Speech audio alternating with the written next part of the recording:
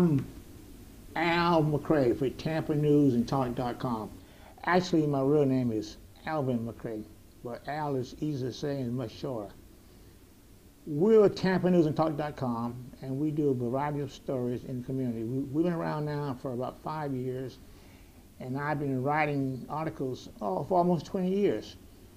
We interview a number of people, uh, consumers, uh, mechanics, police officers, school teachers, and we interview politicians.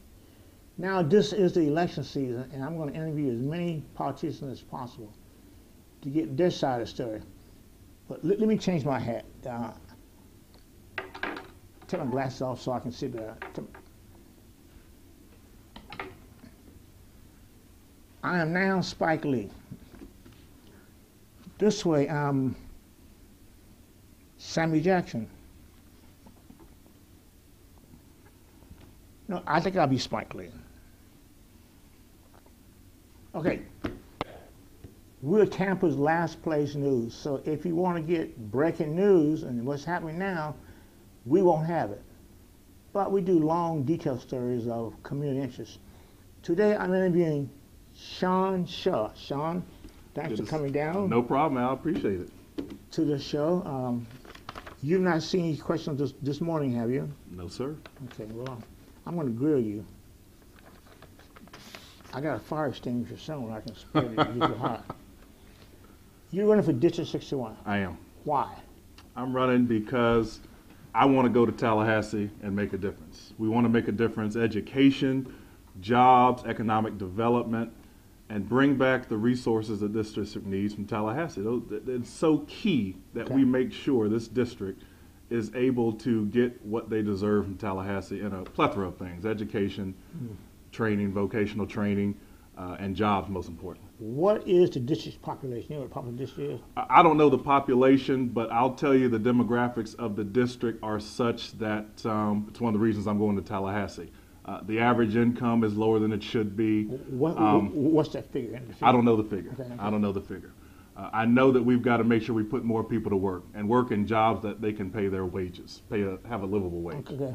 Now, the last election you were in, you came in second place, Right, and you right. lost about 900 votes. I think it was 600, but who's counting? Okay.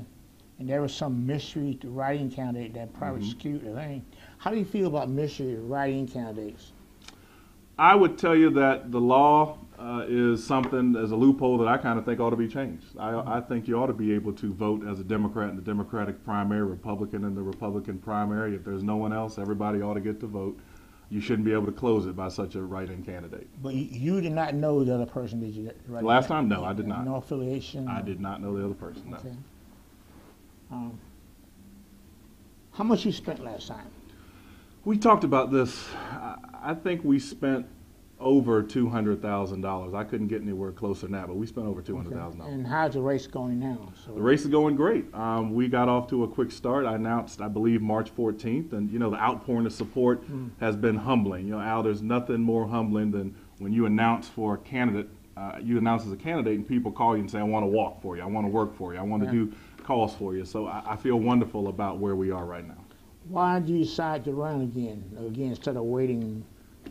Well, uh, the same concerns I had last time, the same passion I had for the district, those are still, uh, those still exist. Uh, I still feel strongly that this district is one that uh, needs someone to go to Tallahassee that can hit the ground running, that has experience. Uh, this district has some problems that need to be addressed in Tallahassee as well as locally, and those same concerns I had, I still have. I've still got the passion for it.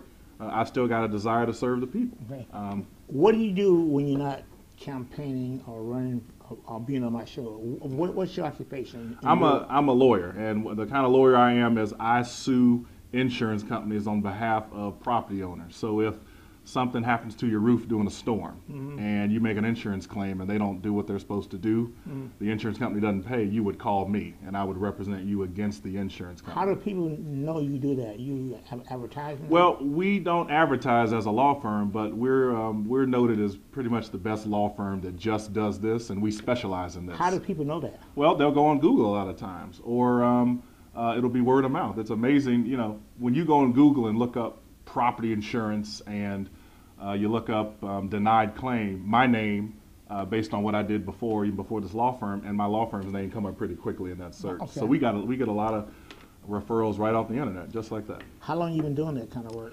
I've been doing, uh, I've been practicing law, that type of law, since 2010. Uh, as you know, from 2008 to 2010, I was the insurance consumer advocate of the state of Florida, which meant that I was the one uh, in charge of keeping insurance companies honest in Tallahassee. Is that I a kinda- position? That was appointed. Uh, that's an appointed position. I was appointed by Alex Sink, and so I had. That was before Scott came in? That was before, yes, Governor. Uh, it was Governor Crist and uh, CFO Sink. And how long ago was that? That was 2008 to 2010, and then I moved here in 2010, and that's why I do this type of law. It was kind of the same thing I did in Right. Tallahassee.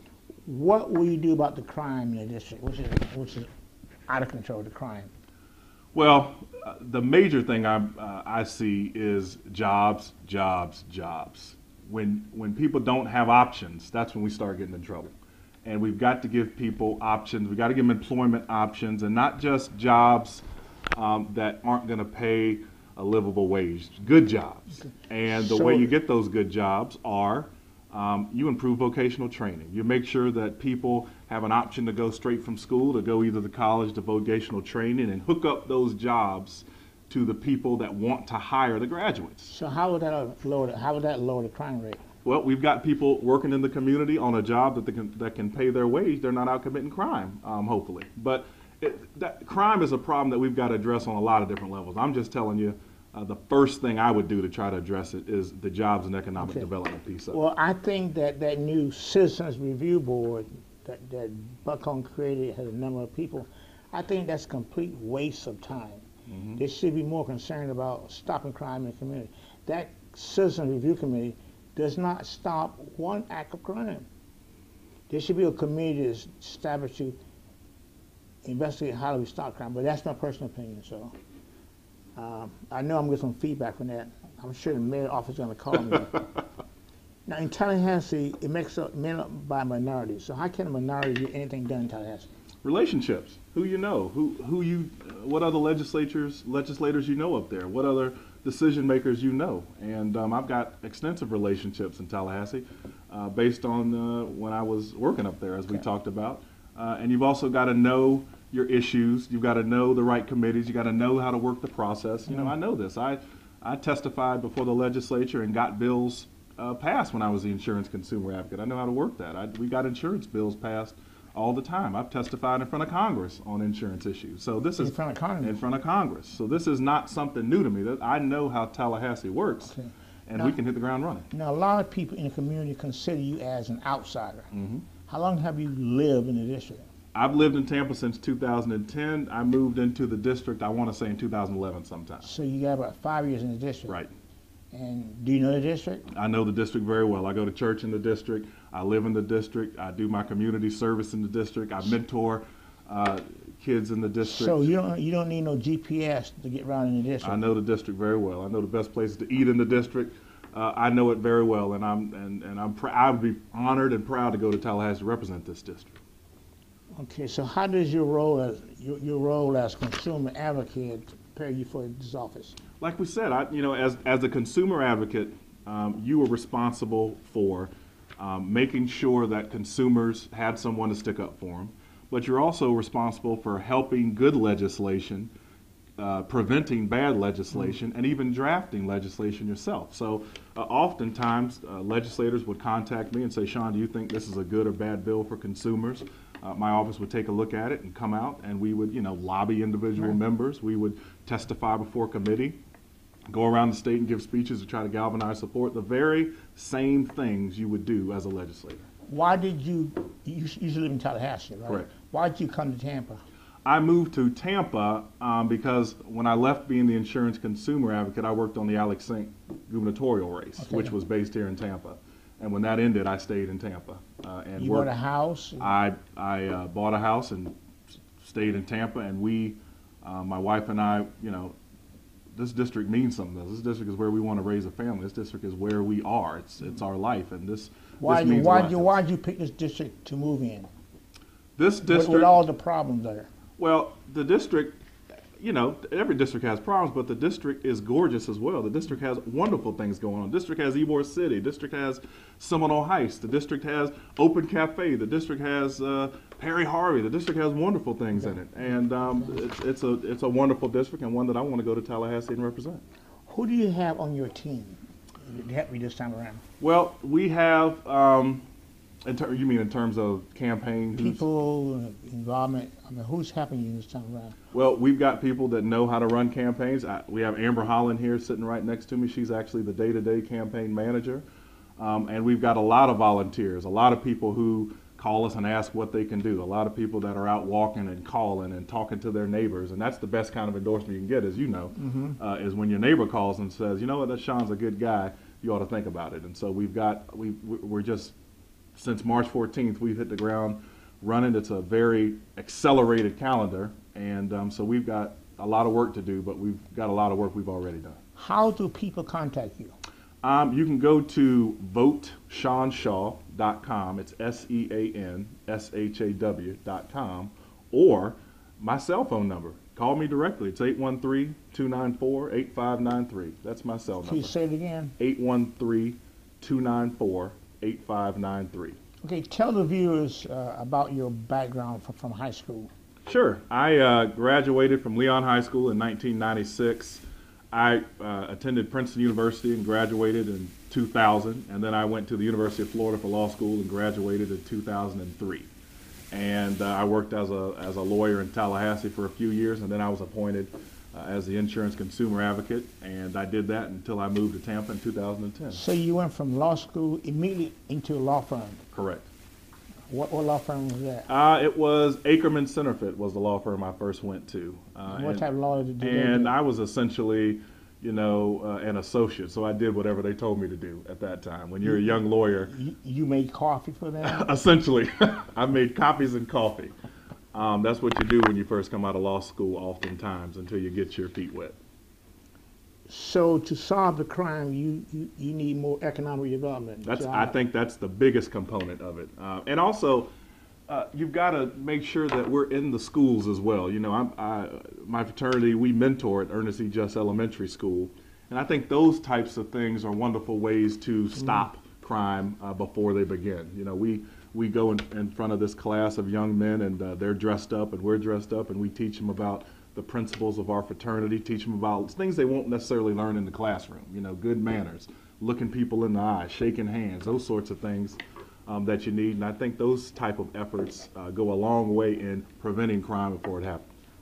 Are there any upcoming events where people can come meet you and shake hand and give you some money and as, planned? Well, you can always um, um, donate if you would be so kind. It's voteseanshaw.com. Um, you can go online and do that. But certainly, we're having a campaign kickoff on April 18th. The details are coming. Location and time is coming. But April 18th, April 16th, I'm sorry, we're having the campaign kickoff that weekend. But beyond that, we're going to start posting on the website when we're walking and and you can get involved as a volunteer through the website. You can click the volunteer button. But uh, you know, as I said, you can call me directly and either uh, volunteer or And what's, ask. what's that phone number again? It's 813-294-8593. Call me and we can meet up. I'm listen. I'm running to be uh, your representative. So uh, So when you have what I want. this campaign kickoff, you plan on serving food there? we're gonna have some food. Uh, fried chicken? I, I don't think we're gonna have fried chicken, but we're gonna have some food. I- What you want?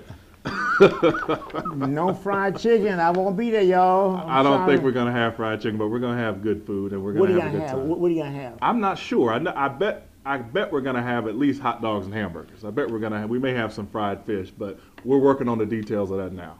But it's gonna be good. You know, if you if if you advertise you're gonna have fried chicken, I'm sure the attendance will be higher. and you have watermelon too. We ain't gonna have watermelon. No watermelon. I know we're not gonna have watermelon. Well, I'm, I'm sorry, Sean. I won't be there.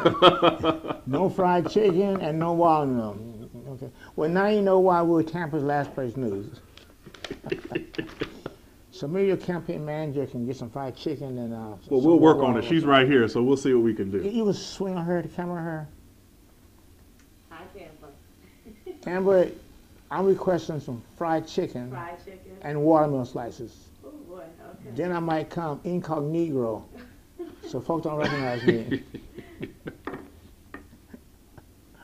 Um, what, I'm, what, what, what gets me intrigued about you, I don't know what you make as a lawyer, but it's probably six figures at least. Why would you take a job paying what uh, twenty five thousand a year? Mhm. I mean, you spend more money. You spend probably. I, I, I have no idea what you spent last time, but it's probably more than I'm making five years. Okay, to get a job that pays barely 25, 24. I mean, I'm guessing. Mhm. The economic doesn't make any sense. Right. Well, well why?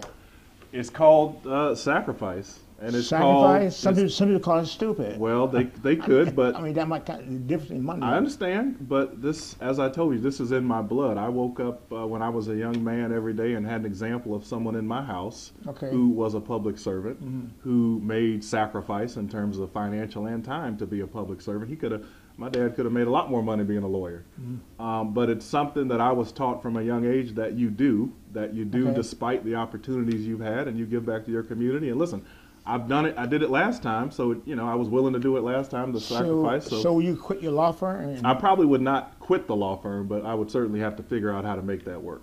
So, which be part time, your elected job or your law firm part time job?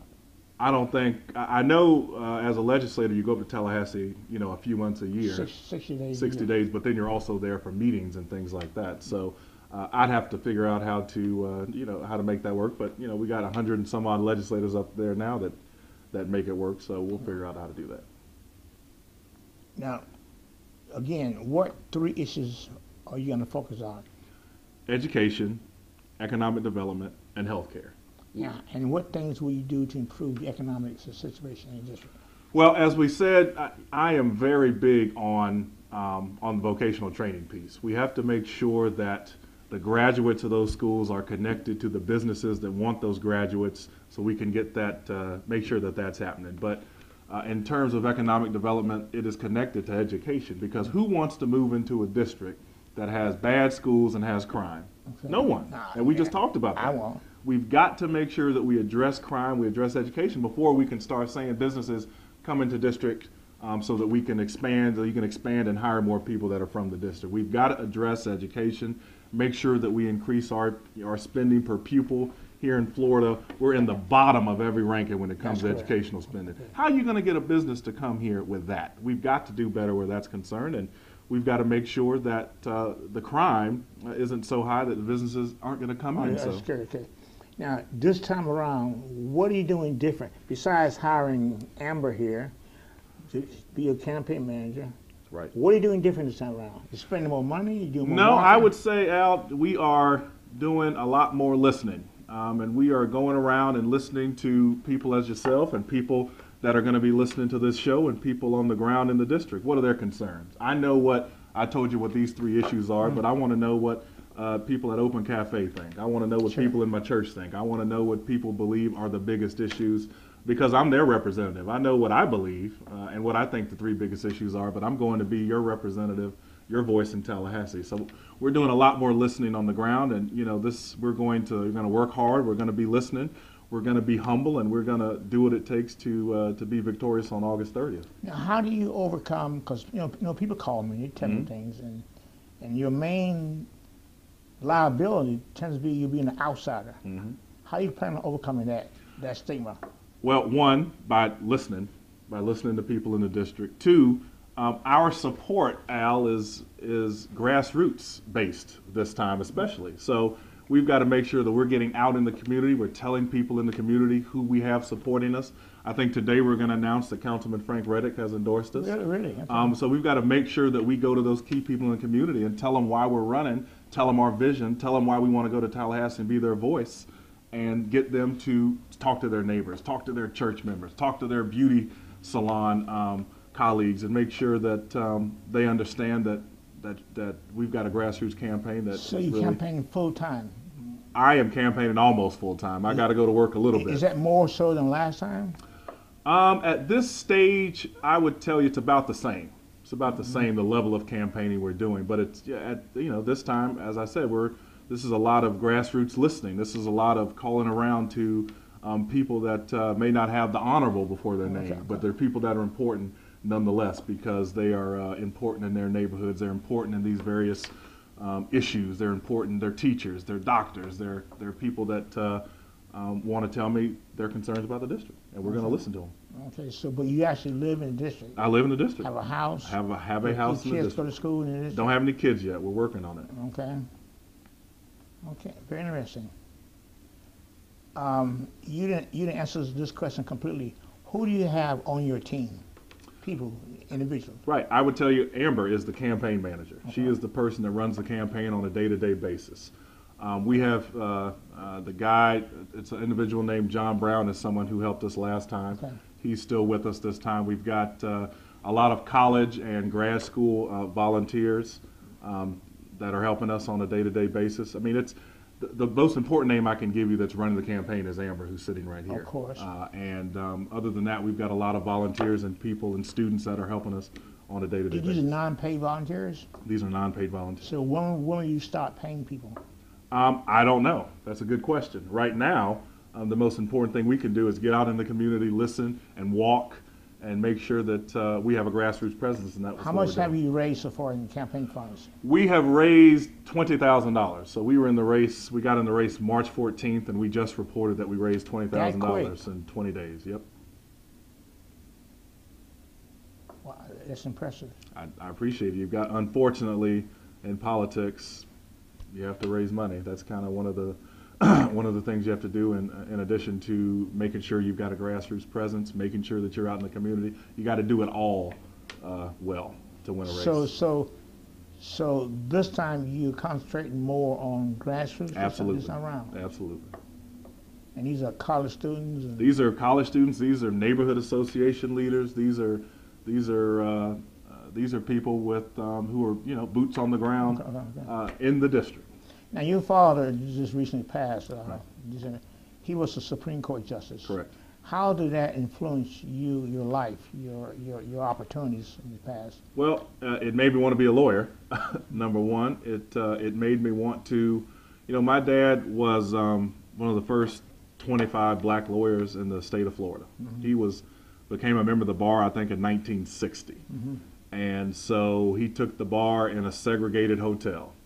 Um, he was the first black member of the Jacksonville Bar Association. He was the first black member of an integrated law firm in Jacksonville.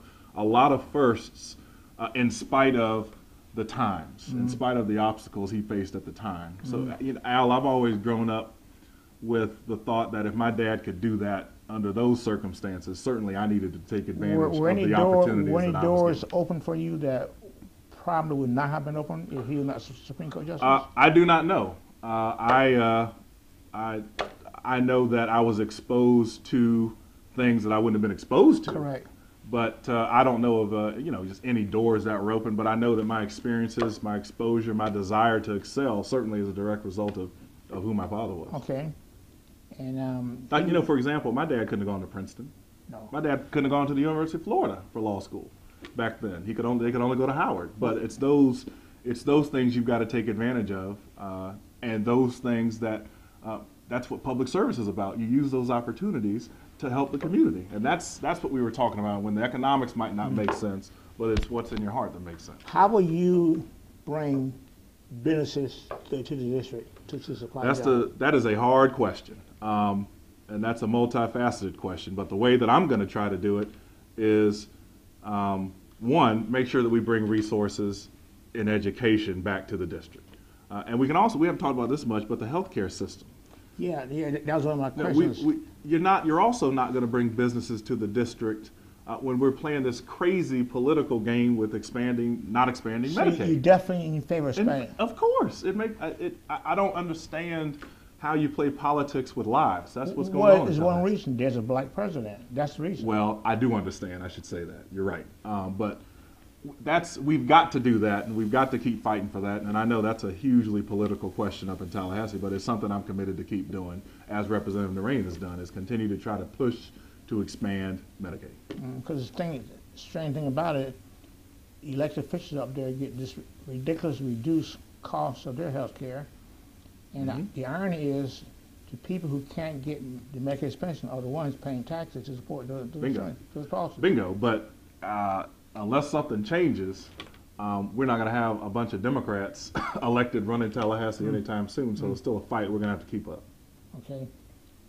Do you, do you plan on practicing, practicing law here forever? That, that's your main thing? That's what I'm doing now, and I enjoy it, and I, I plan on continuing to do it. My wife is also a lawyer here. Oh, really? Yeah, my wife's a lawyer here in Tampa.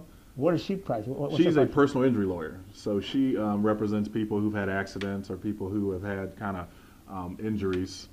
Um, she works at the law offices of Steve Barnes. So Okay. two lawyers in the family. So how long she she been a lawyer? Um, my wife's been a lawyer. She graduated law school in 2010 from the University of Florida. So Mm-hmm. she's been a lawyer about six years. When did she pass the bar? I don't know when Tammy passed the bar. I, I believe it was right after law school. So Well, she did pass the bar. yeah. Oh, she's a practicing attorney. No, no, no. I, trust me, I know the difference. she is a practicing attorney. What, what was the central thing that made you decide to run again after all the trouble you had last time with the money and controversy? Why run again and, and, and blow another two hundred thousand dollars? It's the same, the same desire and passions I had last time. I want to help the district. I'm belie- I, I believe we're the best qualified to do it. Uh, I want to go to Tallahassee and give voice to the concerns of the people in the district. Uh, and I think that my, you know, my background and my qualifications um, make it such that I, I can get things done in Tallahassee. It's, it's the same, uh, the same reason. It's the same, uh, the same, the same kind of desire in the heart to do it. And uh, when Representative Narain uh, uh, decided to uh, move to the Senate, this seat became open, and well, what if So Ed was- had decided to run for re-election? I would not have run for this. Okay, you, now you wait till he. he I would. I don't know what I would have waited for, but I would not have run this cycle. I was. I was not going to run against Representative Narain. Because he had his seat locked up. I, I, I thought he was doing a good job, to be honest. I, Well, I know was- we ran against I each other, but I mean, I was shocked when he changed over. I, I, I thought Representative Narain was doing a good job, and I wouldn't plan on running against him at all. So this time you're gonna spend more money on grassroots, I- shake more hands. I'm going to shake more hands. I'm going to work on grassroots. I don't know what about the money we're going to do. All, all I know is we are going to we're we're going to work as hard as we can. We're going to uh, talk to as many people on the ground as we can. We're going to knock on as many doors as we can, and um, uh, we're going to we're going to win. The last time the money you raised, it came from more money came from out of district on your Right. campaign. I think Miami, you had fundraisers in Miami, Mhm. Tallahassee, Orlando. Mhm. Um, is that gonna be the same this time? I don't. I do not know. Uh, if I told you I knew, I'd be lying. I don't know. Um, Are you actually seeking money from outside of the district? Yeah, I am. I mean, I'm seeking money from friends and family. Uh, that's I wouldn't be running for office if I didn't do that. But I don't plan on having any fundraisers. But but who, who who's giving you money? What So far, it's mostly other lawyers. That's Okay. that's who has given me lawyer. Uh, that's who's given me money, and that's what I am as a lawyer. So that's only to be expected. so if you were mechanic, Yeah, you get money from mechanics. that's yeah. You would. So what percent of your funds raised will be outside the district, you think? I don't- time more than half, it was like seven percent last time. I don't know. I don't know. I don't know that number to be perfectly honest with you. I don't know. I, more than half. Certainly more than half. The last time it was around seven percent last time. I bet it was. But again, uh, you know, Al, that was true. I think for everybody that was in that race. It was. Uh, it was. You know. Okay. Well, we're gonna close down this interview now. Um, let me put back on my hat so my fans can recognize me. okay, I'm back to my old self now. Remember, we're Tampa's Last Place News, TampaNewsAndTalk.com. For the last half an hour, I've had the privilege of talking to uh, Sean S E A N Shaw, who's seeking the seat vacated by Ed, no- Ed Narain uh, House seat 61, mainly East Tampa. This is his second time looking for that seat, or seeking that seat, or trying to get that seat. He spent like almost 200000 last time. Uh, maybe, maybe I should give you my bank account number. I'm gonna just tell you to go on the website. And where can they find you again? Vote Sean Shaw S E A N S H A W dot com. And your cell phone Cell phone number? is 813 You shall get that. 294 813 294 8593. 8593. So when you elected, you keep the same phone number? Same cell phone number. See? But he's been talking to me now for half an hour. He brought with him his campaign, you know, uh, Amber Holland, Holland's campaign manager. See her big purse? She has a bullwhip in her purse. uh, give, give, give, give a copy of her, her purse. she got a, a bullwhip in her purse there, and she's not raised her hand one time as Shaman talking. So she's the main reason this time that you may win. Uh, she's going to be very integral to it, uh, but the people are going to be why I win. Okay.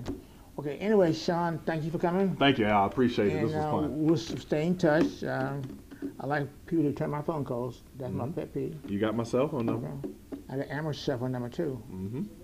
I go to her to get to you. Either way. Again, we're Tampa News and Talk.com. Tampa's last place news. If you want breaking news, news happening now, you won't get it at tampanewsandtalk.com. Again, we're Tampa's last place news, and if you want stories done or investigations or articles printed, then call us. Again, we'll sign off, and the guest has been Sean Shaw. Very Yeah. good.